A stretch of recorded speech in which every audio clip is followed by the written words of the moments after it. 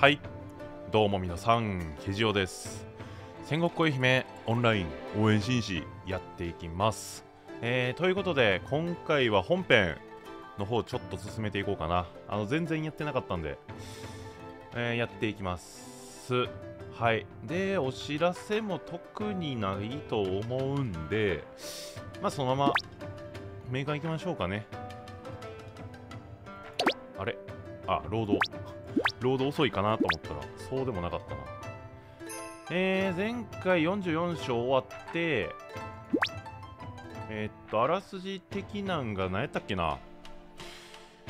剣丞隊が先触れとして鬼ヶ島に行ってでちょっと南蛮の鬼が出てきてピンチになってたら、まあ、なんと鞠ちゃんがね、えー、こっそり一緒にせ、あのー、帯同してくれてて、まあ、なんとか事なきを得たっていう感じで。終わったんやったかな。なんで今回はまあマリちゃんも一緒にいる感じやね。夕霧ちゃんは割と怒ってたけど。まあそれはやっぱね今川の当主があんな勝手なことしたら それは怒るよなっていうことで。まあまあしゃあない。それはちょっと帰ってからね説教してもらって。って感じなんやけど今回少ないね。6話までなんで。うーん3話までなんよな半分やったら。ただどの程度の時間で終わるかによるな。これ下手したら今日で6話までの可能性もなくはない。けどまあ一応3話までっていう感じで見ていこうかな。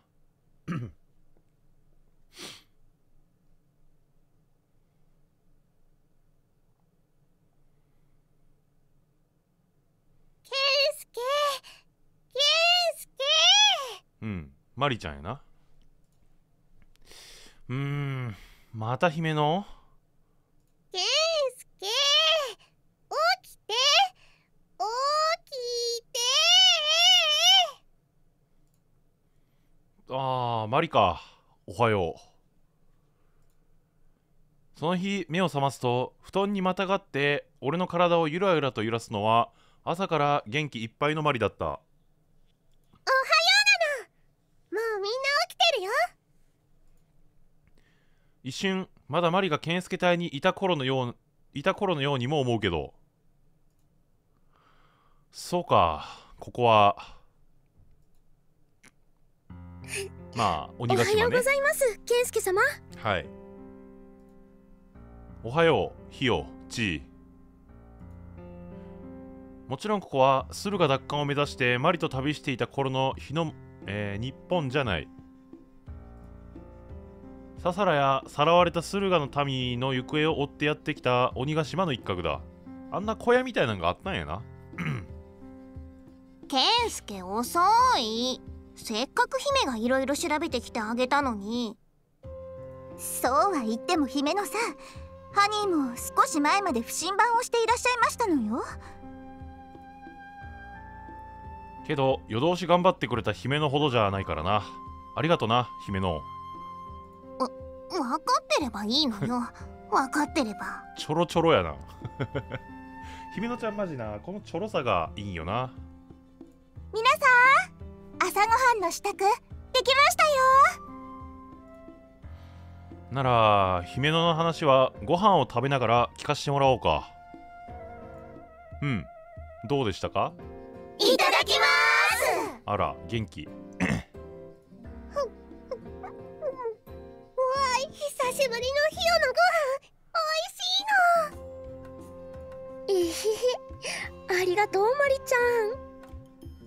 ケンスケ隊の食事って他の隊に比べてもちょくちょくお金がかかってるよね。それわかる。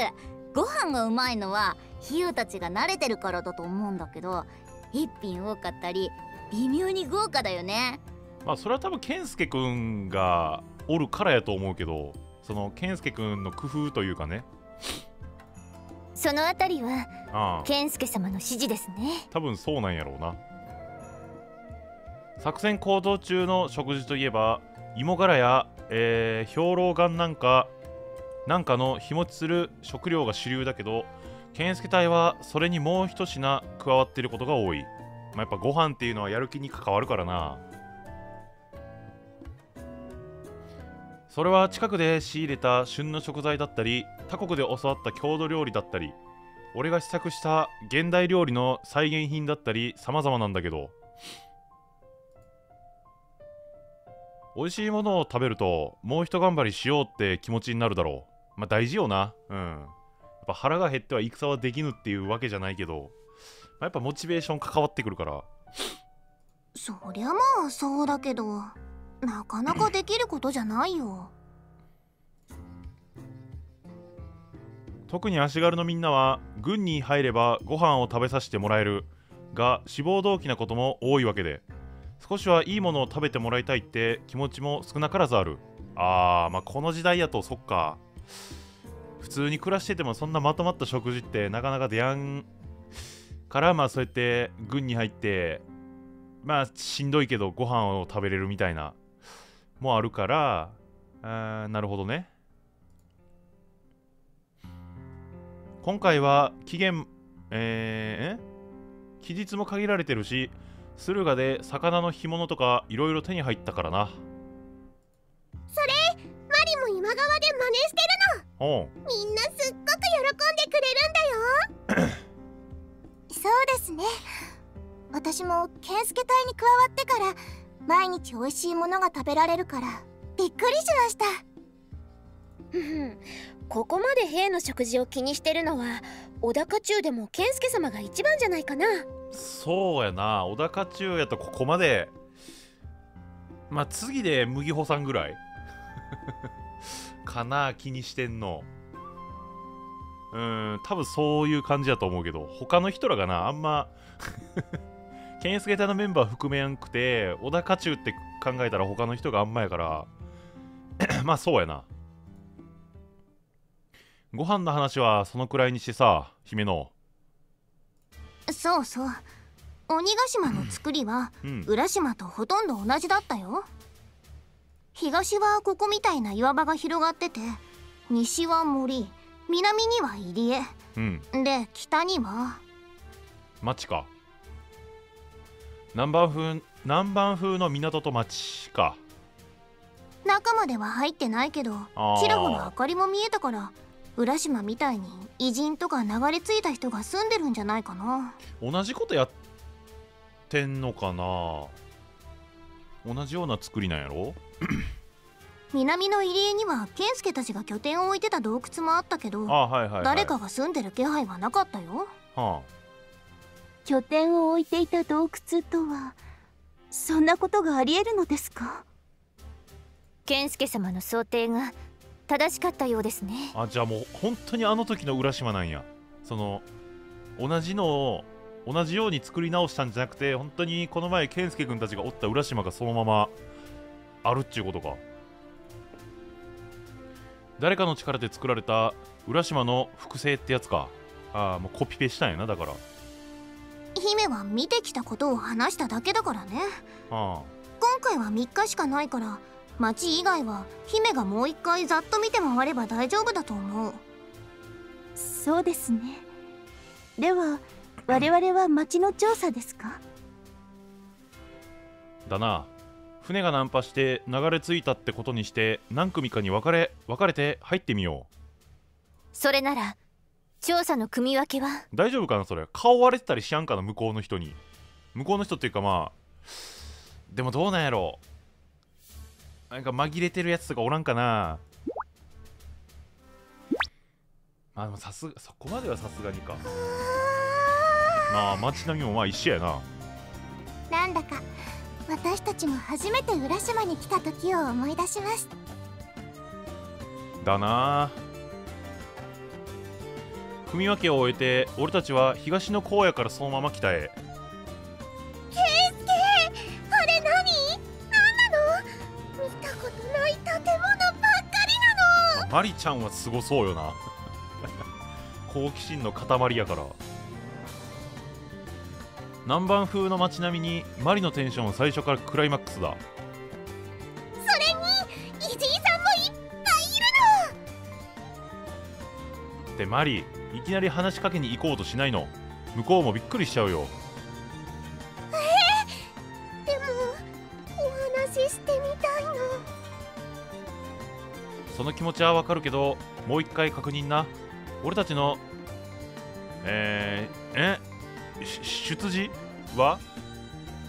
堺から清水に向かう船が難破してここに流れ着いたんでしょ？ああ。ちゃんと覚えてるの。なるほどな。そういう口実でやっていくってことな。あと圭介は堺から駿府に商いをしに来た商人で マリはその妹なの。あー設定までちゃんと。はいはいはい。で地位はてて定一定一兼マリのお世話役って設定だ。あまあ付き人ってことね本物の堺商人に出くわせたら即張りする程度の設定だけど堺なら知ってる顔も多いしむしろ協力してくれることだってあるだろう。まあそこはなんとかなるやろ健介くんなら。ちなみに俺たちのチームはこの3人。あとは俺たちみたいに少数の営利課の少数の営利課班と健介隊の隊員を率いた梅班がある。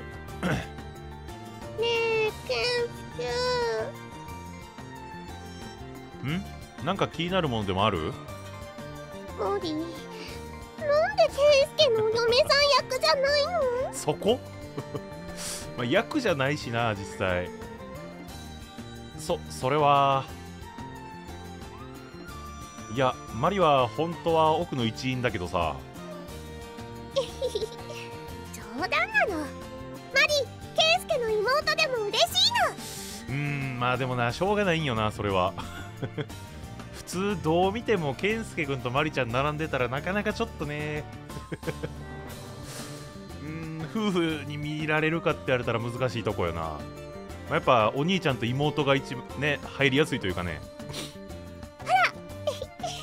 一緒に行くのお兄ちゃん。わあこれマリちゃん好きな人からしたらたまらんのちゃう。だからちゃんと警戒してな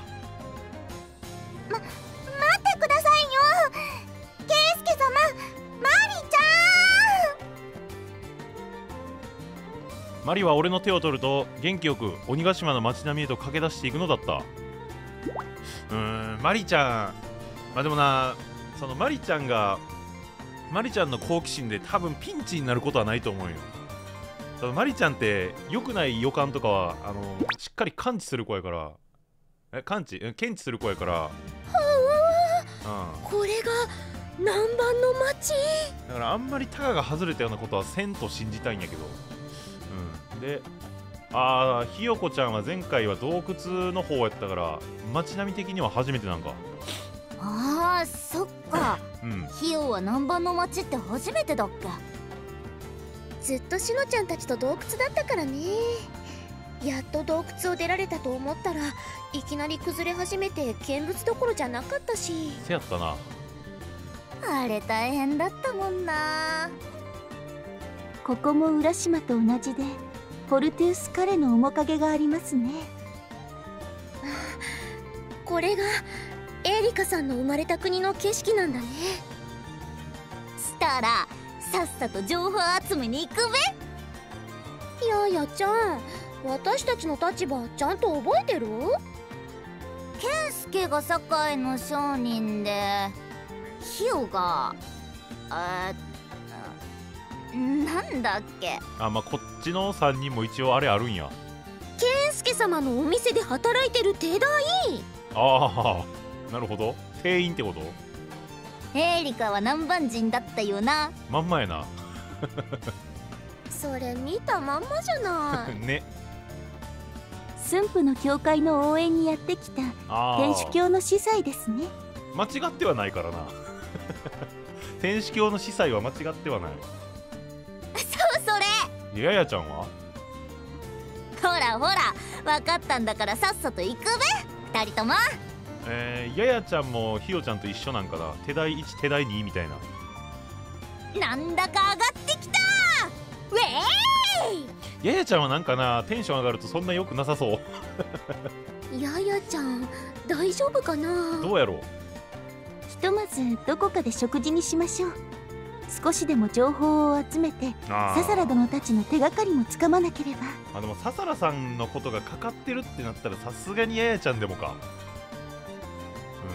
ぱ鬼のかけらを腕に埋めるぐらいやからな。あの笹原さんのために。なかなかのコツじゃないと。ねえそれは。あんたたちも大変だったね。船がナンパなんて。あの頃のあの時のおかみさんと一緒の顔してるな。はい夫ともはぐれてしまって。おっとあ。この町で何か 手がかりが見つかればいいのですが。あしのちゃんが嫁さん役なんや。しのさんずるいですわ。ハニーの奥方役だなんて。まあいいやん。実際は全員奥方なんやから。役割分担はくじ引きでいいと言ったのは梅さんではありませんか。なるほどな。くじはエーリカさんが作ったものですから。私は細工などしていませんよ。くじで決めたんや。この島の町はここだけだからね。大して大きな島でもないし流れ着いてたらきっとここに来るよ。ありがとうございます。焼き魚定食。少し変わった味ですがとても美味しいです少し変わった味はするんや。だろう？今日のところはおごってあげるから腹いっぱい食べていきな。そういえば私たち手持ちもほとんど流されてしまって。もちろんお食事代の持ち合わせくらいはあるのですが。まあその辺はなんとかなると思うよ。うちみたいに勝手に商いを始めてるやつも多いからさ商人の嫁や親族ってことならえー、そろばんかな？そろばんだって使えるだろなるほど。その方たちに雇ってもらうという手もありますのね。それともう一つお聞きしたいのですが。いいよ。私に分かることなら。この島の名前はお。何というのですか？確かあの前のおかみさんはみんなが浦島って呼んでるよって言ってたよな。あら。島の名前がないとはあ。思いもしませんでした。こっちはないんや。特にないんや。あのみんながこう呼んでるとかも。この町しかないなら町や島で通じちゃうもんあーまあね確かに。でも島から出ようとしてるやつがいないってのはちょっとびっくりしたな私はちょっとわかるかな。南蛮式だけど住む家があってうん。戦も年貢の取り立てもなくて少し働けばご飯も食べられるって。健介様に聞いた天の国みたいだもん。前の浦島の人たちもそんな感じなこと言ってたよななんか。そのまあ裏ではそのねまあ人をなん奴隷みたいな感じで送ってるみたいなの言ってたから、まあ、決していい島ではないけど表だけ見たらまあよう似た感じなんかな、まあ、多分一緒のことやってると思うんやけどある程度は。ですが浦島の正体は？そう。それさえなければね。うんうんうん。だから早くササラさんたちも見つけよう。それな。そんでエリカ次はどこに行ってみる？そうですねなるほど。あまあそやな。これええな今回。ここで終わろうかな。うん。まあまあな時間になったんで。はい。ということで。まあ今回はここまでって。一応前回いた浦島そのまま複製されたみたいな言ってたね。あの洞窟で健介君たちが前過ごした形跡みたいなのあったっぽいし。うん。でまあ街の構造もほぼ一緒。でまあカブラルやと思うんやけどでそのカブラルがそもそもコエルさんと同じ見た目をしてるって噂でうーんどうなんやろうな。何を目的にもう一回この浦島を作ったんかっていうね。なんかなんか知らんなんか健介君たちをおびき寄せるためとかうーんなんかそういう感じやったりするんかな。わからんことがやっぱりまだね結構あるんで。まあなんとも言えんけど。まあまずはあれですね。笹原さんを見つけたいかな？うん。笹原さんを見つけてでこの今のまあ鬼ヶ島？まあと島の名前はないけどまあ鬼ヶ島としてまあなんとかしてっていう感じになるんかな今回は。あの鬼ヶ島編は。うん。まあそうなるかな。で次回は45の後半からやっていくんやけど多分新しいイベントがもうちょいで来るから先そっちやるかな。間にちょっと挟む感じで変な感じになるかもしれんけど。先に多分イベントの方やるかな。っていう感じですね。はい。ということで今回はここまでとなります。ありがとうございました。またお願いします。